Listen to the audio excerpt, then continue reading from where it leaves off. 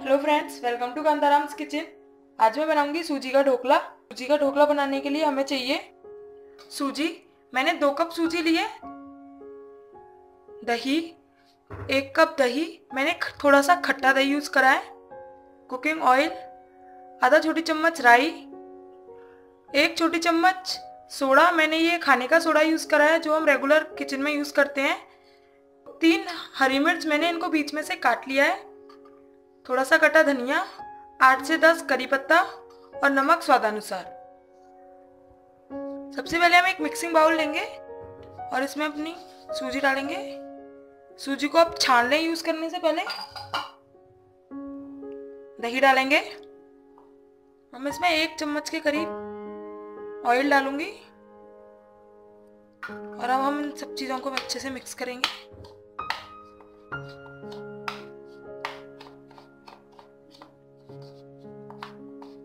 मैंने दही को सूजी के साथ अच्छे से मिला लिया है। अब मैं इसमें पानी डालूँगी। और इसे मिक्स करूँगी पानी के साथ। मैंने इसको अच्छे से मिला लिया है। इसकी कंसिस्टेंसी मैं यही रखूँगी। अब मैं इसमें नमक डाल दूँगी। नमक आप अपने टेस्ट के हिसाब से डालें। और नमक को इसमें अच्छे से मिला देंगे। नमक इसमें अच्छे से मिल चुका है। अब मैं अपने इस बैटर को 15 से 20 मिनट रेस्ट करने के लिए छोड़ दूँगी। 20 मिनट हो चुकी है। आप देख सकते हैं, सूजी भी फूलकर थोड़ी सी गाढ़ी हो गई है। मैं इसमें थोड़ा सा पानी मिलाऊँगी। लेकिन उससे पहले मैं इसके लिए स्टीमर तैयार कर लेती हूँ। मैं अपने ढोकलों को इस पतीले में स्टीम करूँगी। ढोकला मेकर आते हैं, वो नहीं यूज़ किया है क्योंकि पतीला हर किसी के घर में अवेलेबल होता है।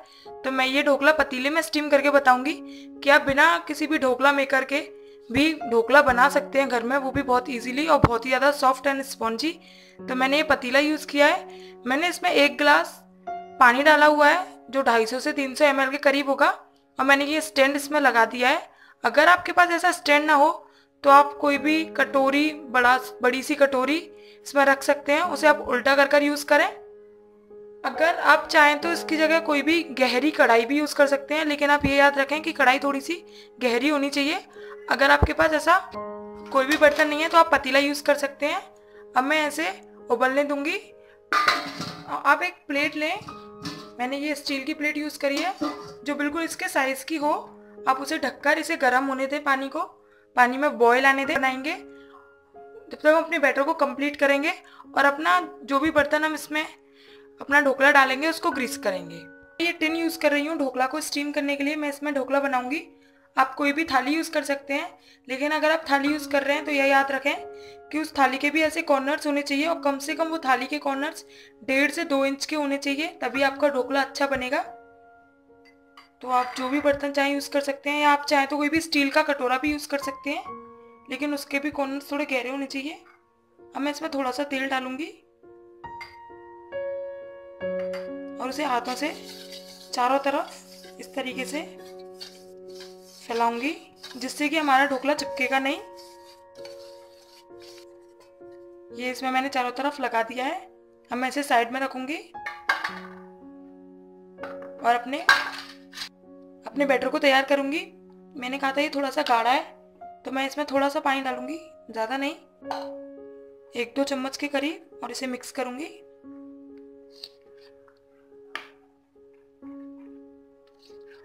मैंने इसको मिक्स कर लिया है, इसकी कंसिस्टेंसी अब बिल्कुल सही है।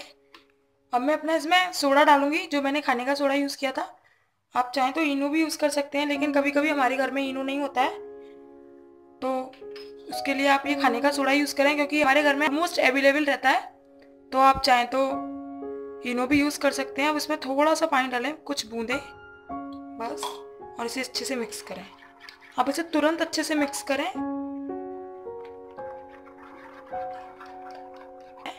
आप देख सकते हैं इसमें बबल्स आने लगे हैं। मुझे नहीं पता कैमरे में ये क्लियर दिख रहा है या नहीं, लेकिन इसमें बहुत सारे बबल्स आ गए अब आप इसे तुरंत अपनी उस टिन में ट्रांसफ़र कर दें। आप जिस भी बर्तन में ढोकला बना रहे हैं, ये प्रोसेस हमें बहुत जल्दी करना होता है। मैंने अपना बैटर टिन में ट्रांसफ़र कर दिया है। अब इसे आप टैप कर दें एक दो बार, जिससे कि इसमें जितने भी एयर बबल्स होंगे, वो निकल जाएँगे। अब हम इसे अपने स्टीमर में रखेंगे। हमारे पानी में बॉयल आने लगा है। मतलब हमारा स्टीमर एकदम रेडी है। अब मैं उस टिन को इसमें रख दूँगी। मैंने टिन उसमें रख दी है और मैं प्लेट को वापस से ढक दूँगी और गैस का फ्लेम मीडियम कर दूँगी। अब मैं इसे मीडियम फ्लेम पे 20 से 25 मिनट पकने दूँगी। आप इसे बीच में ना खोलें। अगर चाहें तो 20 मिनट के बाद आप इसे चेक कर सकते हैं। लेकिन बी 15 से 20 मिनट से पहले आप इसे बिल्कुल भी ना खोलें। गैस का फ्लेम मीडियम ही रहने दें और इसे पकने दें। ढोकला मेरा पक चुका है। मैंने गैस का फ्लेम बंद कर दिया है। मैं आपको चेक करके दिखाती हूँ। चेक करने के लिए आप एक नाइफ लें। और इसे सुन आप देख सकते हैं, मेरा नाइफ एकदम साफ़ निकल के आया है। इसका मतलब है कि ढोकला पक चुका है। आप भी उसे एक बार नाइफ से चेक कर लें। अगर आपका ढोकला नहीं पका हो तो आप उसे थोड़ी देर और पका सकते हैं। अब मैं इसे ठंडा होने के लिए छोड़ दूँगी और ठंडा होने के बाद इसे निकालूँगी। हमारा ढोकला ठंडा हो चुका है। आप देख सकते हैं, इसके कॉर्नर्स इसने छोड़ दिए हैं। ठंडा होने के बाद ये ऐसे इस कॉर्नर्स को छोड़ देता है। अब मैं इसे निकालूँगी। निकालने के लिए आप एक नाइफ लें और इसके कॉर्नर्स को ऐसे थोड़ा सा निकाल लें। जिससे कि हमें इसे निकालने में दिक्कत नहीं होगी। चारों तरफ़ से आप इसके कॉर्नर्स को छुड़ा लें। कॉर्नर्स छुड़ाने के बाद आप एक प्लेट लें और उसे ऐसे इसके ऊपर रखें। ऐसे टैप करें। टैप करने से जल्दी निकल आता है। मैंने ढोकले को प्लेट में निकाल लिया है। आप देख सकते हैं ये कितना स्पॉन्जी बना है। मैं आपको इसे दबा के दिखाती हूँ। देखिए, ये कितना स्पॉन्जी बना है। अब मैं इसके लिए तड़का तैयार करती हूँ। तड़के के लिए हम पहले मैंने गैस पे कढ़ाई रख दी है। आप चाहे तो तड़का पैन भी यूज़ कर सकते हैं। अब मैं इसमें तेल डालूँगी। मैंने इसमें दो बड़े चम्मच तेल डाला है। तेल को गर्म होने देंगे। तेल गर्म हो चुका है। मैं इसमें अपनी राई डालूँगी। राई के पकने के बाद आप गैस का फ्लेम मीडियम कर दें। और इसमें हरी मिर्च करी पत्ता डाल दें। कुछ सेकंड के बाद हम गैस को बंद कर देंगे, जिससे कि हमारे मिर्च और करी पत्ता लगे नहीं। मिर्च और करी पत्ता ने कलर चेंज कर दिया है, मैंने गैस का फ्लेम बंद कर दिया है। अब मैं इस तड़के को अपने ढोकले पे डालूँगी।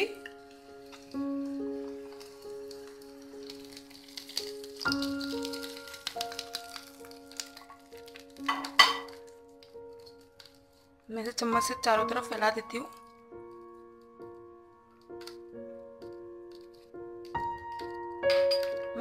थोड़ा सा धनिया पत्ता भी डालूँगी?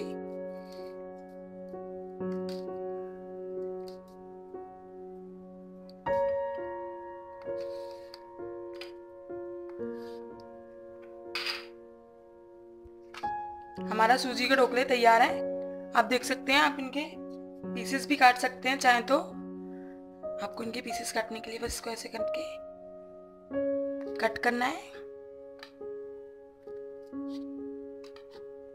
इसे बीच में से भी काटते हैं। तो उसके पीसेस में आपके इसके पीसेस काट काट के ऐसे मैंने जैसे काटे हैं, आप सर्व कर सकते हैं। सूजी का ढोकला खाने में बहुत अच्छा लगता है। ये बहुत टेस्टी होता है। तो आप मेरे सूजी के ढोकले की रेसिपी को एक बार ज़रूर ट्राई करें और अगर आपको अच्छी लगे तो मेरी वीडियो को लाइक करें और मेरे चैनल को सब्सक्राइब करें।